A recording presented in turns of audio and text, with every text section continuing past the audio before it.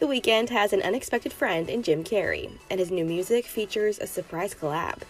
The Save Your Tears singer is set to drop his latest album, Dawn FM, on Friday, and the comedian is part of the release.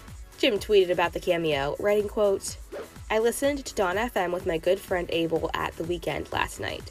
It was deep and elegant, and it danced me around the room. I'm thrilled to play a part in his symphony.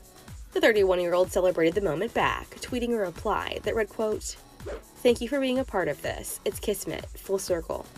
Jim is featured on the title track of the new album, and his voice can be heard in a recently released promo.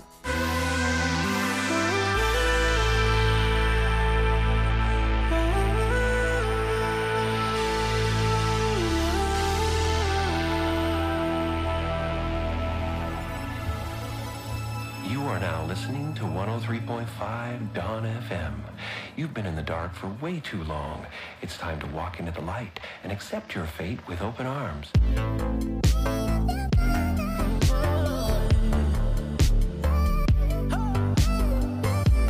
So, how did this friendship come about?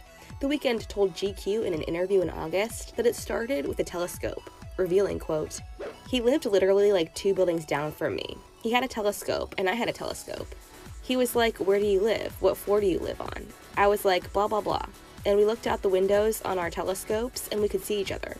He went on to share that the mask actor took him out for his 30th birthday, saying, quote, We'd been texting prior to that, and then on my 30th birthday, he surprised me. He just pulled up to my crib and took me to breakfast. The Weeknd also teams up with some other famous friends in Dawn FM, including Quincy Jones, Tyler the Creator, and Lil Wayne.